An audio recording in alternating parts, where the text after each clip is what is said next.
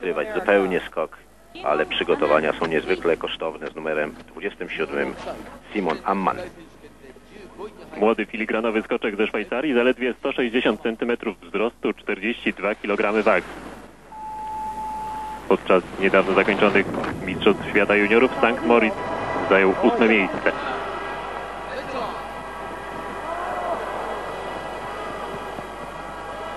Niewiele brakowało, ten skok nie byłby zaliczony, bowiem upadłby przed tą linią, która jest oznakowana dalej kawałkami świerków. Jeżeli zawodnik upadnie przed nią, jest to traktowane jako właśnie skok niepełny.